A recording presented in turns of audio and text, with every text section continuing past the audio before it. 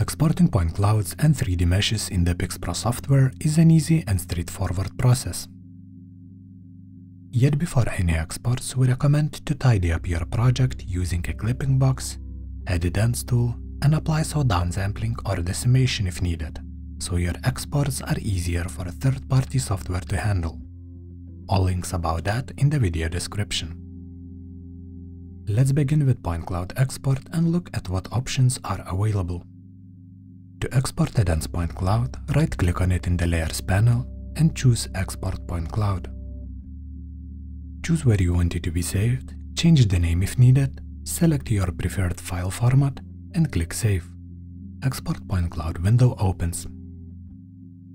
Here you can double check some information, as point cloud you chose, number of points that cloud contains, and file location you picked. Then we have projection options, this is where you choose the coordinate system you want your cloud to be exported with. Here you also have local coordinates option, reducing referencing information to a minimum, losing absolute but keeping relative accuracy regarding project scaling.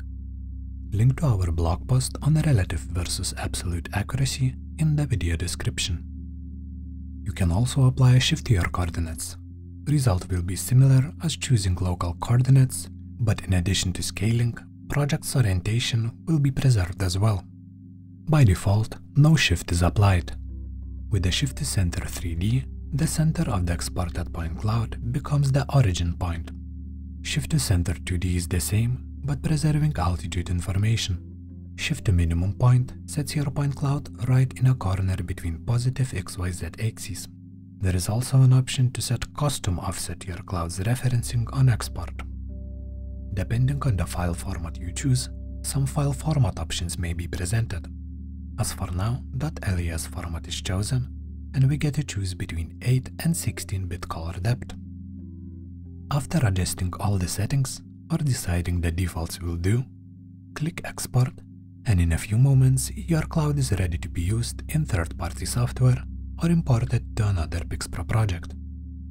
Now, process of exporting 3D mesh is exactly the same. Let's go through it, but this time in a quick step-by-step -step manner. Right-click the mesh you want to export in the Layers panel, select Export Mesh. Choose where you want it to be saved, select your preferred file format and click Save. Export Mesh window opens. Select Coordinate System and apply the shift if needed. Choose if you want to export mesh with or without the texture. You may also get some file format options. As we chose the .obj file format, we have a precision setting that is expressed by the number of digits in your x, y, and z coordinates. Click Export and your mesh will be exported for whatever task you have in mind. That is it for this video.